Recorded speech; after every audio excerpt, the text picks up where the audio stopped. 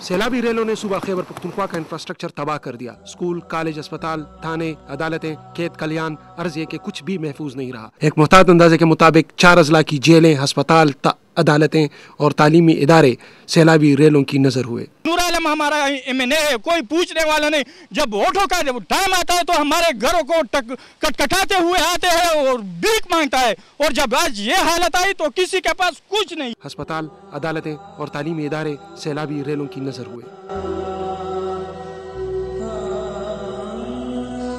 लेकिन इस तमाम सूरत हाल में हुक्मरानों की जानब से किसी मरबूत मनसूबा बंदी के फुकदान के बायस अवाम इसको हुक्मरानों की जानब से डॉलर्स हड़प करने का मौसम करार दे रहे हैं। इतलात हैं कि बहुत सारे देहात पानी बहा के ले गए हैं अफराद समेत। तो जब असल में सैलाब रुकेगा तो अस, असल सूरत हाल उस वक्त सामने आएगी। फिर ऐसे में जगह जगह लाशें ताफुनजदा माहौल और लुटे पुटे घर आवाम का इंतज़ार कर रहे हैं। हम एक ऐसी घर के अंदर दाखिल हो चुके हैं जहाँ पर सैलाबी रेला गुजरने के बाद वहाँ के जो मकीन थे वो उस घर के अंदर दाखिल हो चुके हैं। आप देख सकते हैं कि किस हद तक तबाही हुई।